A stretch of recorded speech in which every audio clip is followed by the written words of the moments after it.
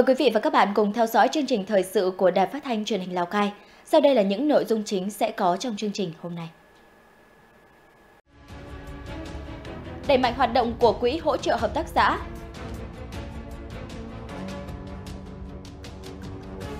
Gần 30.000 chậu điện lan đủ điều kiện phục vụ thị trường Tết Nguyên đán 2024. Nhà truyền thống, nơi lưu giữ giá trị văn hóa lịch sử của Bát Sát. Tin quốc tế, Ai Cập đề xuất thỏa thuận ngừng bắn mới ở Gaza. Sau đây là nội dung chi tiết chương trình.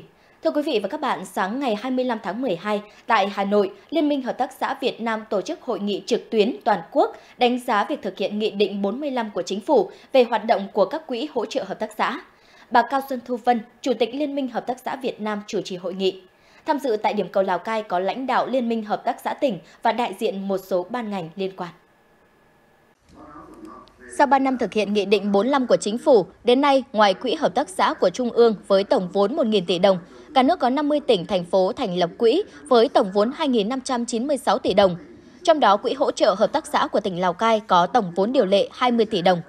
Ước hết năm 2023, Quỹ hỗ trợ phát triển hợp tác xã các địa phương cho vay 22.300 tỷ đồng, dư nợ đạt 2.050 tỷ đồng. Mặc dù kênh vốn tín dụng của quỹ đã giúp các hợp tác xã nâng cao hiệu quả hoạt động, tuy nhiên cả nước vẫn còn 13 tỉnh, thành phố chưa thành lập quỹ hỗ trợ hợp tác xã. 39 tỉnh, thành phố chưa tổ chức sắp xếp lại hoạt động của quỹ theo nghị định của chính phủ. Phát biểu kết luận, Chủ tịch Liên minh Hợp tác xã Việt Nam Cao Xuân Thu Vân đề nghị các địa phương chủ động, quyết liệt trong việc thành lập, tổ chức hoạt động của Quỹ hỗ trợ phát triển hợp tác xã, tham mưu cấp ủy chính quyền bổ sung đủ vốn điều lệ cho quỹ hoạt động. Mong muốn các bộ ngành địa phương quan tâm tạo điều kiện về nguồn lực, con người, cơ sở vật chất cho Liên minh Hợp tác xã hoạt động hiệu quả. Ngày 25 tháng 12, Công đoàn viên chức tỉnh tổ chức hội nghị Ban chấp hành lần thứ tư mở rộng, nhiệm kỳ 2023-2028. Năm 2023, Công đoàn viên chức tỉnh đã nỗ lực phấn đấu, đạt được những kết quả quan trọng. 10 trên 11 chỉ tiêu đạt và vượt kế hoạch đề ra. Các phong trào thi đua được đẩy mạnh với trên 90% đoàn viên, người lao động tham gia.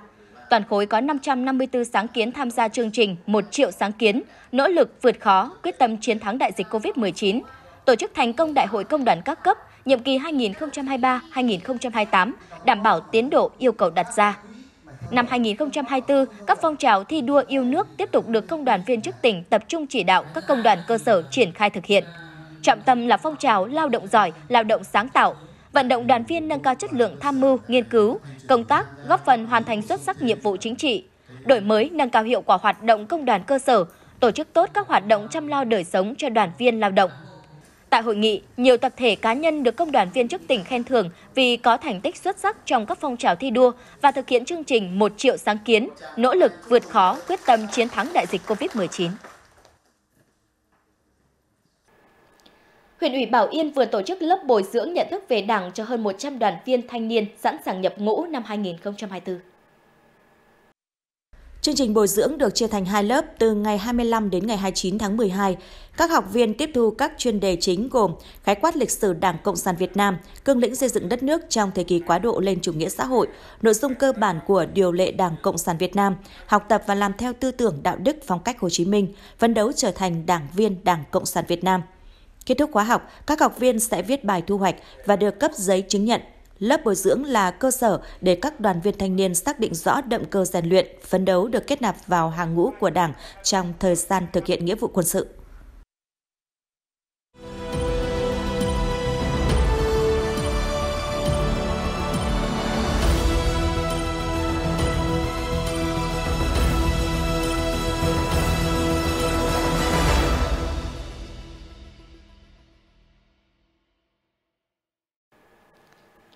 Thưa quý vị và các bạn, bằng trí tuệ, kinh nghiệm của mình, người có uy tín trên địa bàn tỉnh không chỉ là lực lượng quan trọng trong tuyên truyền, vận động đồng bào các dân tộc thiểu số thực hiện hiệu quả các chủ trương chính sách của Đảng, Nhà nước, mà còn phát huy tính gương mẫu, đi đầu trong mọi lĩnh vực của đời sống.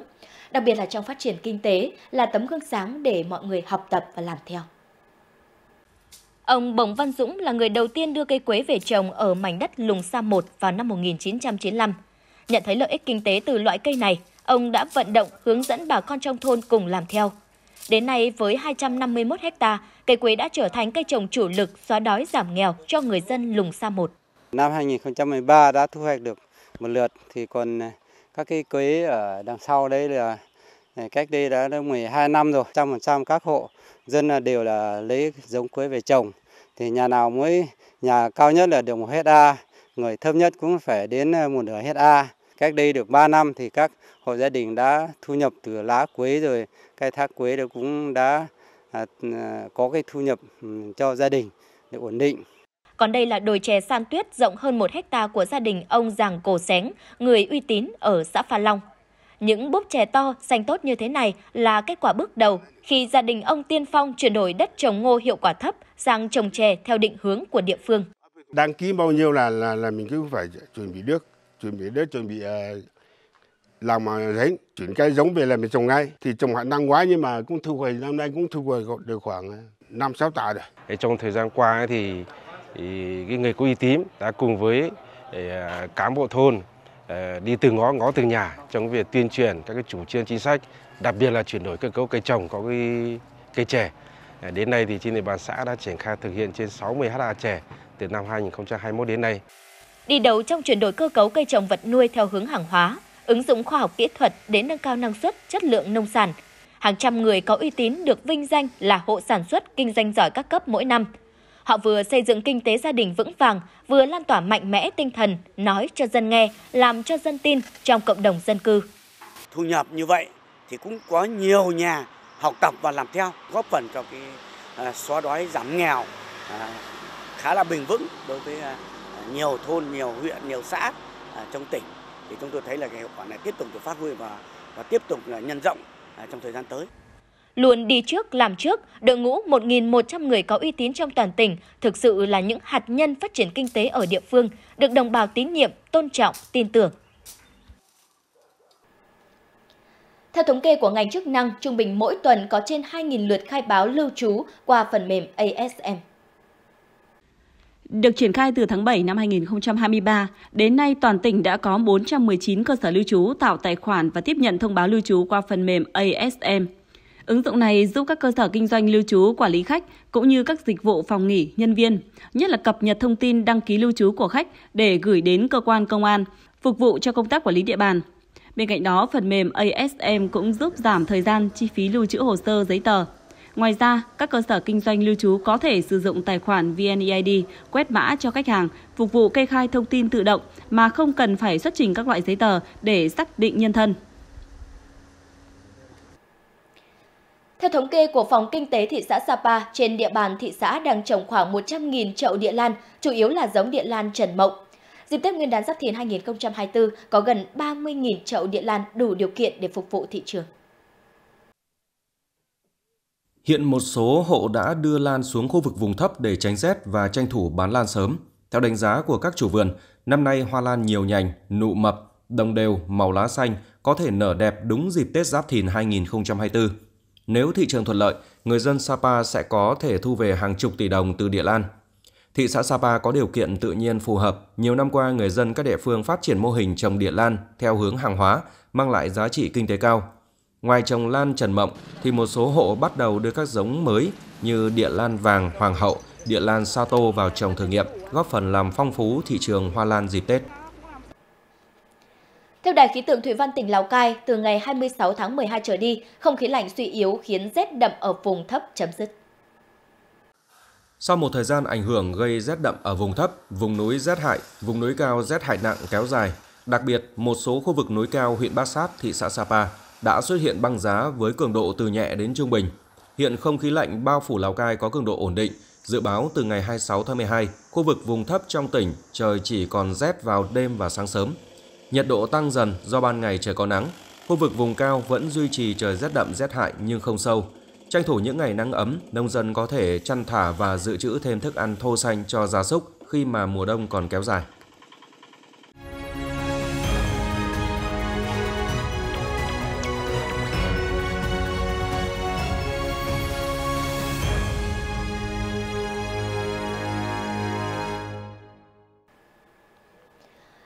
Năm đi vào hoạt động, nhà truyền thống huyện Bát Sát không chỉ là địa chỉ lưu giữ, trưng bày các hiện vật, tư liệu lịch sử của địa phương qua các thời kỳ, mà còn góp phần bảo tồn, quảng bá nét đẹp văn hóa của đất và người địa phương tới bạn bè và du khách gần xa. Tham quan nhà truyền thống Bát Sát, anh Patrick Anderson Fleck, nghiên cứu sinh trường đại học Michigan, Canada, ấn tượng trước những tư liệu hiện vật, hình ảnh được trưng bày tại đây. Đối với anh, đây là kho tư liệu quý giúp anh hiểu rõ hơn về vùng đất mà mình đang thực hiện đề tài nghiên cứu.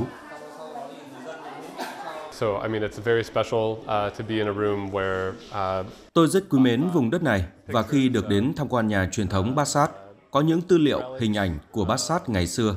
Thực sự tôi rất ấn tượng. Tôi hy vọng bản thân mình có thể đóng góp một phần nào đó giữ gìn lịch sử của Bát Sát. Vì vậy, tôi đã gửi tặng một số hình ảnh mà tôi siêu tầm, tìm thấy ở kho lưu trữ quốc gia ở Pháp và Mỹ về vùng đất này cho chính nơi mà nó thuộc về. Đi vào hoạt động năm 2022, nhà truyền thống huyện Bát Sát nằm trong không gian huyện ủy.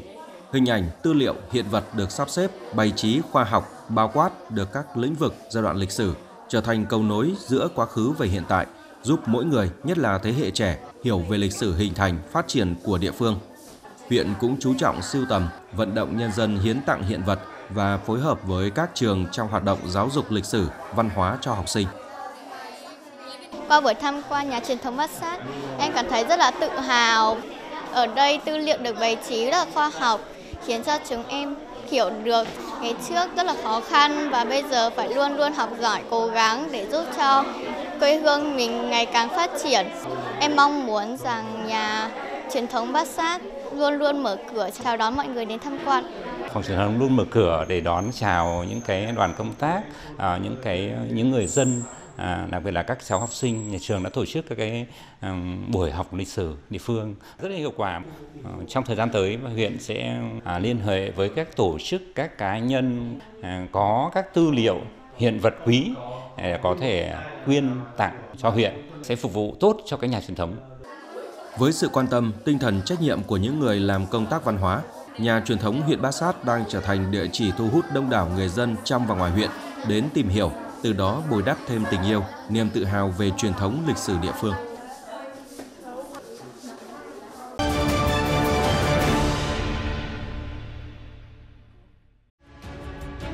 Tiếp tục chương trình, 60% cơ sở khám chữa bệnh thực hiện thanh toán điện tử.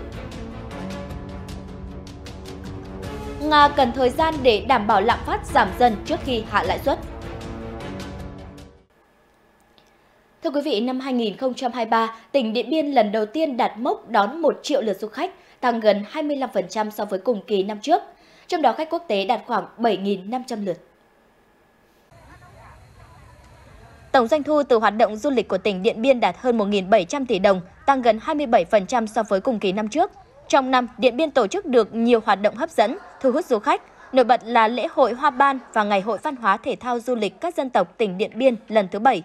Tỉnh cũng tăng cường công tác phối hợp xúc tiến, quảng bá du lịch, đẩy mạnh chuyển đổi số, cung cấp thông tin về nơi đến, điểm đến trên nhiều ứng dụng của ngành du lịch. Những khởi sắc của du lịch trong năm cộng với sự kiện sân bay Điện Biên đưa vào khai thác trở lại được kỳ vọng sẽ tạo cú hích để đưa Điện Biên trở thành điểm đến hấp dẫn năm 2024. Với chủ đề Nhiều địa phương, một điểm đến năm 2023, chương trình liên kết hợp tác phát triển du lịch vùng Đông Nam Bộ góp phần đánh thức tiềm năng du lịch ở mỗi địa phương, tạo sản phẩm du lịch đặc trưng của vùng. Thông qua hoạt động farm chip, những sản phẩm du lịch riêng lẻ ở từng địa phương được đánh thức, kết nối tour tuyến trở thành tài nguyên du lịch cho toàn vùng khai thác. Nhiều điểm đến mới được du khách đón nhận như làng Sơn Mài, Tương, Bình Hiệp và trang trại ứng dụng công nghệ cao của tỉnh Bình Dương khu du lịch sinh thái Sơn Tiên, các tour Hồ Tràm, Tây Ninh, Vũng Tàu và Côn Đảo. À, trong năm 2023 thì à, nó là một cái sự bùng nổ giữa các vùng à, liên kết với thành phố Hồ Chí Minh. Ngoài cái công tác à, quảng bá về các à, sản phẩm du lịch chung thì à, mỗi một tỉnh đều có những cái sắc thái bản sắc riêng và đồng thời trong những năm tiếp theo thì à, nó sẽ mở ra cho những cái sản phẩm mới, ví dụ như là các sản phẩm du lịch đường thủy các tỉnh Đông Nam Bộ rất là đa dạng về tài nguyên du lịch và nếu kết hợp được với nhau thì nó tạo nên chùm một cái sản phẩm du lịch rất là hấp dẫn và có thể là ờ, kéo dài cái ngày ờ, tuyến hành trình, ngày lưu trú của khách. Khai thác hiệu quả tiềm năng du lịch, các địa phương trong vùng tiếp tục khảo sát, hoàn thành phát triển sản phẩm du lịch, đưa các tour tuyến du lịch trở thành bản đồ chung cho vùng. Ngoài ra, việc liên kết vùng trong hoạt động xúc tiến quảng bá được xem là chất xúc tác để nâng cao hiệu quả tiếp thị điểm đến Đông Nam Bộ. Thông qua liên kết vùng thì nhận diện được những cái thế mạnh của từng địa phương, từ đó sâu chuỗi lại viết lên một cái câu chuyện là cái chuỗi du lịch của mình là nó phong phú và nó đa, đa, đa dạng. Trong năm 2023, vùng Đông Nam Bộ đón và phục vụ hơn 65 triệu lượt khách, tăng gần 19% so với cùng kỳ. Doanh thu đạt 180.566 tỷ đồng, tăng hơn 22%. Lượng khách chiếm gần 55% tổng số khách du lịch của cả nước. Đây là động lực để các địa phương tiếp tục đẩy mạnh liên kết phát triển du lịch vùng. Cùng với sự tiện lợi, việc áp dụng thanh toán điện tử trong khám chữa bệnh còn góp phần giảm quá tải xếp hàng trong các cơ sở khám bệnh chữa bệnh. Người dân rút ngắn được thời gian đi thăm khám. Hiện gần 88% các bệnh viện trực thuộc Bộ Y tế và các trường đại học, y dược triển khai thanh toán không dùng tiền mặt. Còn ở các cơ sở khám chữa bệnh thuộc Sở Y tế các địa phương, tỷ lệ này là hơn 60%. Các hình thức thanh toán viện phí không dùng tiền mặt hiện rất đa dạng như thẻ y tế thông minh, thanh toán viện phí qua thẻ ngân hàng, quét mã QR hay các máy thanh toán tự động được trang bị tại các bệnh viện. Qua đó góp phần giảm tình trạng quá tải cục bộ tại bệnh viện, giảm áp lực căng thẳng cho nhân viên y tế trong quá trình tiếp đón bệnh nhân đến khám, giúp bệnh viện có thể phục vụ người bệnh được tốt hơn.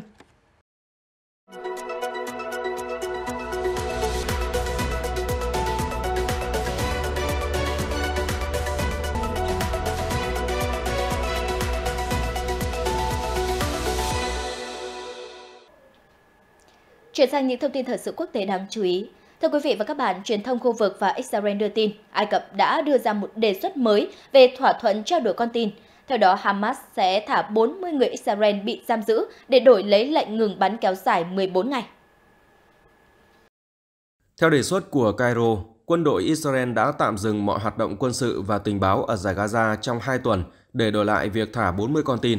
Phía Palestine cho biết thỏa thuận do Ai Cập đề xuất là một kế hoạch có 3 giai đoạn để hướng đến một giải pháp lâu dài cho Gaza. Theo đó, các bên cũng sẽ đàm phán với chính quyền Palestine với hy vọng thành lập một chính phủ an ninh khẩn cấp ở Gaza, có sự tham gia của đại diện các phe phái Palestine khác nhau, cũng như lực lượng Israel rút khỏi giải đất ven biển đang bị phong tỏa này. Ngày 24 tháng 12, Thống đốc Ngân hàng Trung ương Nga cho biết ngân hàng này sẽ cần từ 2 đến 3 tháng để đảm bảo rằng lạm phát đang giảm dần trước khi đưa ra bất kỳ quyết định nào về việc cắt giảm lãi suất. Ngân hàng Trung ương Nga đã tăng lãi suất cơ bản thêm 1 điểm phần trăm lên 16% vào đầu tháng 12 năm 2023, đánh dấu đợt tăng lãi suất trong cuộc họp thứ 5 liên tiếp để đối phó với tình trạng lạm phát cao dai dẳng. Ngân hàng có hàm ý chu kỳ thắt chặt chính sách tiền tệ đã gần kết thúc. Tuy nhiên, cũng cho biết vẫn chưa rõ chính xác khi nào các nhà hoạch định chính sách của Ngân hàng Trung ương Nga sẽ bắt đầu cắt giảm lãi suất. Ngân hàng Trung ương đang tính đến một loạt các chỉ số, nhưng chủ yếu là những chỉ số đặc trưng cho sự ổn định của lạm phát tại Nga. Ngân hàng sẽ tiến hành cuộc họp tiếp theo để xem xét mức lãi suất chủ chốt vào ngày 16 tháng 2 năm 2024. Các thương hiệu lớn cảnh báo về tình trạng thiếu nguồn cung do gián đoạn hoạt động vận chuyển qua kênh đảo Suez của Ai Cập. Quá trình di chuyển bị gián đoạn của các tàu chở hàng ở Biển Đỏ do các cuộc tấn công của lực lượng Houthi ở Yemen đang khiến các chủ hàng toàn cầu phải chuyển hướng hành trình, có khả năng dẫn đến giá hàng hóa tăng cao. Tuần qua, công ty nội thất Thụy Điển thông báo họ đang tìm hiểu các tuyến đường thay thế để đảm bảo thị trường không thiếu các sản phẩm chủ yếu được vận chuyển qua Biển Đỏ và kênh đào Suez từ các nhà máy châu Á đến thị trường phương Tây. Kênh đào Suez là huyết mạch giao thông quan trọng, xử lý khoảng 15% hoạt động vận tải biển trên thế giới, bao gồm gần 30% container thương mại toàn cầu. Một vụ hỏa hoạn nghiêm trọng đã xảy ra tại một tòa nhà chung cư 27 tầng ở thủ đô Seoul của Hàn Quốc, khiến ít nhất 2 người thiệt mạng và 29 người khác bị thương. Theo lực lượng cứu hỏa, ngọn lửa bùng lên tầng 3 của tòa nhà chung cư 27 tầng ở Seoul. Ngay sau khi đám cháy bùng phát, hơn 200 nhân viên cứu hỏa cùng 57 phương tiện chữa cháy đã được điều động đến hiện trường để làm nhiệm vụ. Vụ hỏa hoạn đã được thống kê sau 3 giờ đồng hồ. Hai người đàn ông khoảng 30 tuổi và một phụ nữ khoảng 70 tuổi được đưa đến bệnh viện trong tình trạng ngừng tim. Hai người trong số họ đã tử vong sau đó. Ngoài ra, 28 người khác bị thương do vụ cháy, chủ yếu do ngạt khói. Lực lượng cứu hộ đã đưa 20 người trong số đó đến bệnh viện để điều trị. Hiện cảnh sát và cơ quan cứu hỏa đang điều tra nguyên nhân vụ việc. Quý vị và các bạn thân mến, trong các loại cầu cổ ở Việt Nam, cầu ngói là công trình kiến trúc dân gian đặc sắc và có giá trị nghệ thuật cao. Ở xã Hải Anh, huyện Hải Hậu, tỉnh Nam Định thì cầu ngói chợ Lương chính là di tích lịch sử nổi tiếng. Với hơn 500 năm tuổi, vượt theo dòng thời gian, cầu ngói chợ Lương vẫn giữ trọn vẹn được nét đẹp xưa với kiến trúc độc nhất vô nhị. Những hình ảnh về cây cầu ngói năm thế kỷ ở đất Thành Nam sẽ có trong một góc nhìn cuộc sống ngay sau đây.